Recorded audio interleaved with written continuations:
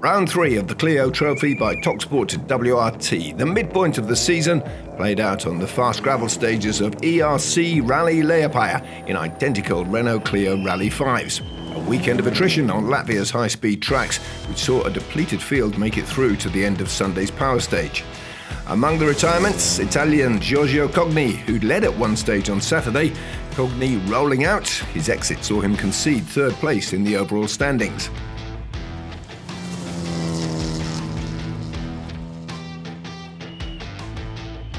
Patrik Herczig, one of only four drivers to make it through to the finish, the Hungarian taking fourth place, and that's his best result of the season.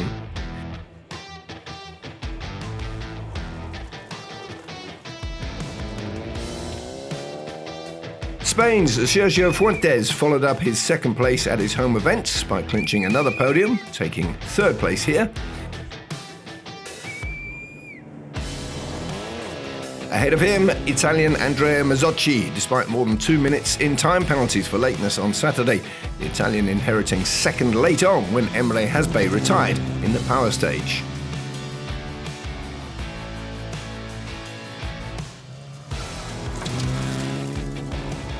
Around in front, the man who's dominated this season, Argentina's Paulo Soria, on the pace from the start, romping home more than three minutes ahead of the rest of the field to continue his perfect start to the campaign. That's three straight wins now. For sure, we are so happy, uh, Kira and me. We did a good job this weekend.